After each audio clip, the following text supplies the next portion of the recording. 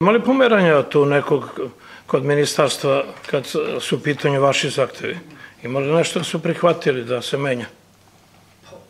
Trenutno je status quo i sami znate da u ovim nekim vremenima kad se menja priča, svi čekaju i niko zvanično neku odluku ne donosi.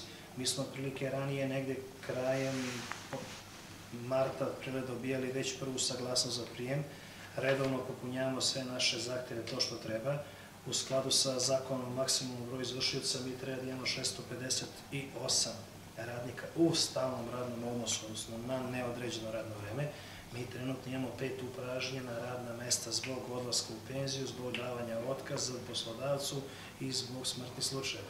Zahtevi su prosleđeni uredno uz detaljna i dugotrajna obrazloženja, nadamo se povratnim informacijama, jer postoji opet što kaže doktor Neša, uvek se, jedan zakon se kosi sa drugim. Znači, u zakonu o maksimalnom broju zaposlenih u javnim preduzećima postoji tamo rečenica koja kaže da za prijem u stalni radni odnos u skladu sa maksimalnom brojem nije potrebna nikakva saglasnost. Ako bi poštovali taj zakon, mi bi sad mogli da primimo pet radnika. A onda stiže instrukcija Ministarstva zdravlja koja kaže ne smete da uradite prijem ukoliko nemate saglasnost vladine komisije za prijem. Vladina komisija za prijem znači uredno se šalje ne samo mi, svi normalno do petog u mesecu moraju da daju izaštaj za prethodni mesec. I to funkcioniše od decembra 2013. godine. Znači svakog meseca se pošalje koliko je ljudi u prethodnom mesecu otišlo u penziju, dalo otkaz, međutim vidite da se ograničeno limitira. Trenutno vidim da dobijamo stalno zahteve za informaciju sa u vezi pregovora sa Međunarodnim monetarnim fondom, non stop dajemo podatke o radnicima, o otpremninama, o penzionisanju i o svemu tome, tako da vidjet ćemo šta će da bude. Ja bih samo iskoristio što... Faktički, koliko vam nedostaje? Trenutno nama pe, imamo pet upražnjenih radnih mesta u skladu sa zakonom. A u, normativ je veći nego taj broj. Znači mi treba... Da šta vam fali? Molim? Šta vam fali od lekara? Trenutno su, znači, imamo dva upražnjena mesta na mestu lekara, jednog farmaceuta i jednog, jedne medicinske sestre i jednog administrativnog radnika. To su nam ta pet upražnjena radna mesta koja postoje, sa kojima postoji treba. To je to, dva radna mesta. Mm.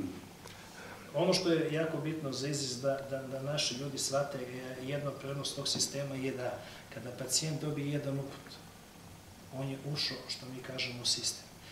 I šta je prednost toga? Prednost je toga da neće moći da dobije pet uputa. Pa uput za Niš, pa uput za Beograd, pa u Beogradu dobije za drugu vaskularnu, pa za kardiohirurgiju, pa za VMA. Šta se onda desi? Onda jedan pacijent ode sa četiri uputa. Pa za, uđe na listu čekanja u Nišu, pa u Beogradu na tri klinike. I onda vi dobijete nerealni broj. Kažu u Srbiji 10.000 ljudi čeka operaciju. A imate multiplificiranje pacijenata. Na ovaj način će te liste čekanja biti realnije prikazane. Jer kad vi dobijete uput za Niš, vi odlazite u Nišu, u Nišu ima vaš broj, ne može da se izda novi uput za drugu ustanovu, za istu temu, za istu dijagnozu i za istu ustanovu.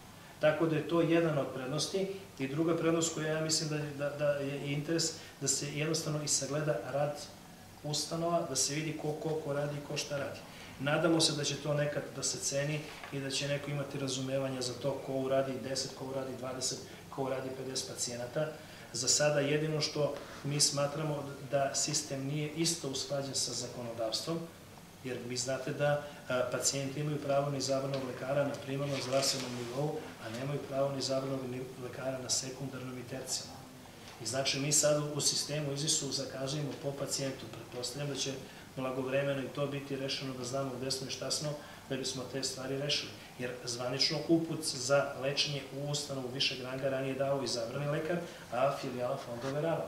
Sada imamo, možemo po tom sistemu i mi kao izabrani lekar, kao specijalisti, da damo uput za višu ustanovu. I tu je, na primjer, predno šetanje. Umesto pacijent dođe kod mene pa sa mojim izveštajem ide kod izabranog lekara, pa izabran lekar piše uput, ukoliko ima potrebe da pacijent ode u tercijalnu ustanovu, ja mogu odmah da mu kreiram uput i sa tim uputom on jedno šetanje smanjuju. Na taj način će da se smanji pritisak i u primarno zdravstvenoj zaštiti, automatski smanjuje se pritisak i kod nas i bit će malo to regulisanje, regu, bolje uređeno.